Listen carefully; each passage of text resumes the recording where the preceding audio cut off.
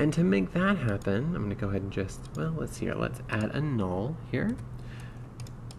It's always a good idea to drop a null right here in the end. I'm going to call it null final. Excellent. I'm going to turn on its display so we can see it here in the background. So we can see this a little bit better. I'm going to scoop my level over. I'm going to scoop my feedback over. Actually, let's make a little bit of room here between our feedback and our level.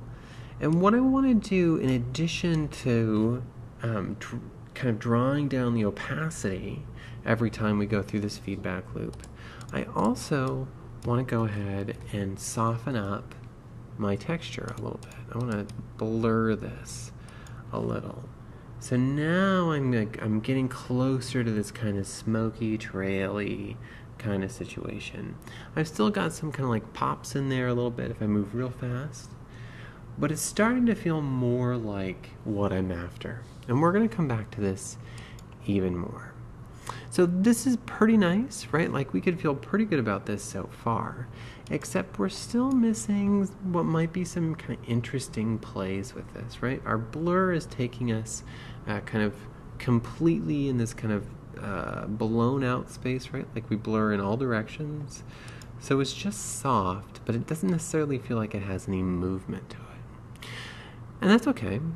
We can uh, we can push on that a little bit. Let's go ahead and scoot our level over here a little bit, and in this case, let's add a transform.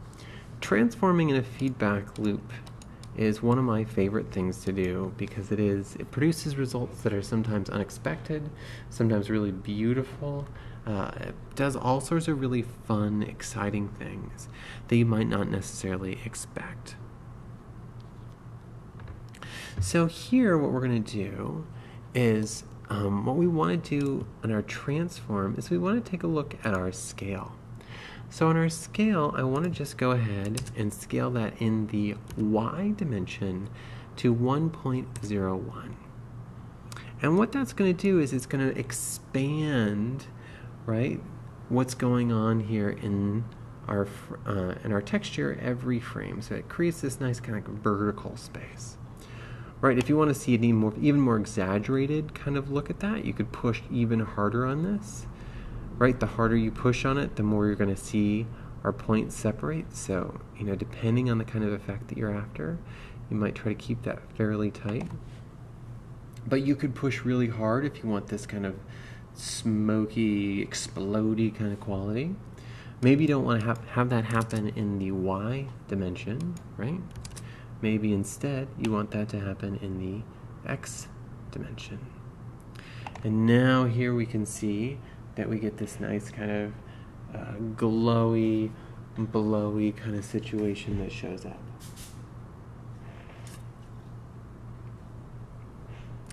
That's also really fun.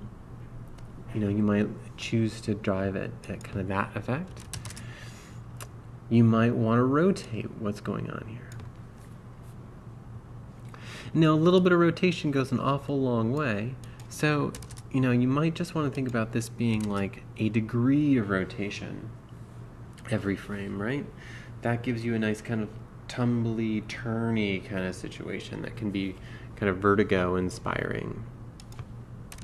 Another fun thing you might think about if in our translate we change this, change this to pixels and we go just to the right one pixel right? So now everything trails over to the right-hand side.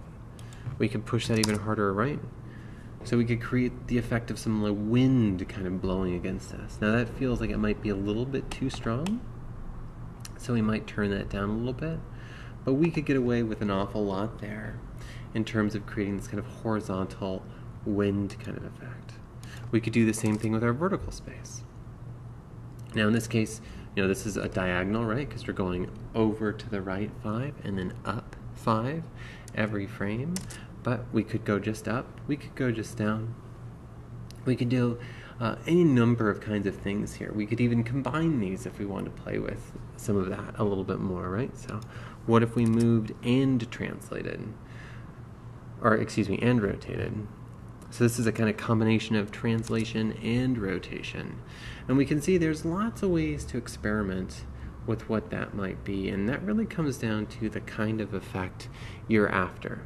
Today, I am going to just uh, going to move us back to where we started with, and I'm after something that looks like this 1.01. There we go. That's where I want to start.